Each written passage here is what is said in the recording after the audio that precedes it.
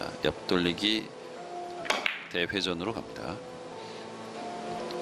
오늘 좀 이상대 선수가 참 어렵습니다. 네. 자, 요거는 득점이 되겠죠? 네, 득점됐습니다. 항상 말씀드리지만 지금 이 상황에서 이상대 선수가 역전을 할 수도 있는 거지만 역전을 못 하더라도 몇 점이라도 득점을 하는 게 중요해요. 그렇죠. 네. 지금 1세트니까 말씀하신 것처럼 아 이번 세트는 지더라도 좀 어깨를 좀 풀고 가겠다. 이런 생각하다 보면 또 의외의 상황이 벌어질 수도 있잖아요. 그렇죠. 이상대 프로가 아, 어, 어, 이해 못했어요, 저. 뭐였죠?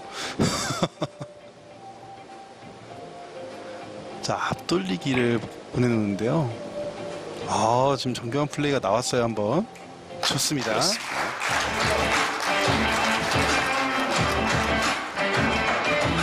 네, 이상대 프로 아, 이상대 프로 누가 상대할 수 아, 있나요? 누가 상대할 네. 수 있나요? 네. 자, 지금 이제 이런 옆돌리기는 항상 말씀드리지만 세게 치는 게 중요한 게 아니에요. 짧게 만든다고 해서 세게 치는 게 중요한 게 아니라 원 쿠션 지점을 보내놓는 게 중요한 거거든요. 낮은 당점을 이용해 서 잘 보내놨고요. 그렇습니다. 자 이번에는 어, 옆돌기 직접 가지 않고 대회전. 대회전으로 가는데요. 오 키스가 나면서 어, 득점 되겠는데요? 득점 되죠? 어, 행운의 득점까지. 어, 행운의 득점. 자, 요게 또 어떻게 연결될지요? 아, 공이 좋게 섰어요, 근데. 이 상대 프로를 누가 상대할 수 있나요? 지금 김재근 선수가 상대하고 있네요. 자, 14대 5로 뒤져 있는 자, 이상대 선수. 자, 꾸벅하고 인사를 했습니다. 그렇게 진지한 말투로 농담을 하시면 참 재밌는 것 같아요. 자, 뒤돌려치기 좋습니다. 오, 좀 길어져야 되는데요. 네. 네, 괜찮죠. 네, 괜찮죠? 네, 좋아요.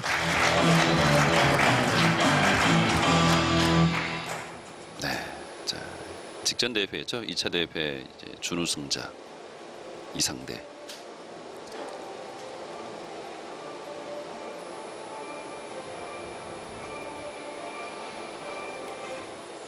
자, 득점 이후에 다음 배치도 아주 좋습니다. 옆돌리기.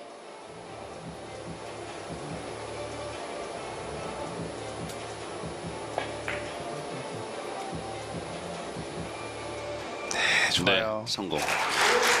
지금 아주 단순한 볼 배치 같지만 이상대 선수의 루틴을 보면 큐도 상당히 길게 잡고 백스윙을 되게 작게 하죠. 백스윙을 되게 작게 한 상황에서 내가 임팩이 최대한 빠질 수 있게끔 컨트롤해주는 모습 아주 좋습니다.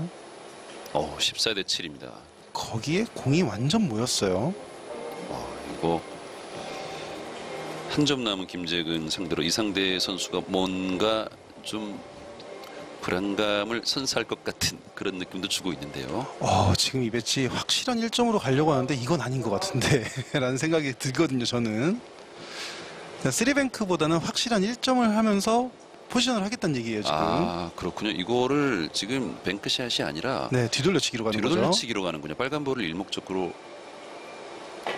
선택을 해서 오 그리고 자. 지금 빨간 볼 코너 쪽으로 갖다 놨고 자 포지션 플레이를 만들어가면서 이어갑니다 네. 아이 선택은 어떻게 보면 신의 한 수죠 그래요. 네 네, 참 마음이 급한 상황이잖아요. 그러면 사실 뱅크샷 쪽을 한번 바라볼 것 같은데 근데 다음 배치를 정확하게 만들 수 있다는 확신이 든 거죠 네. 그러면서 만들었어요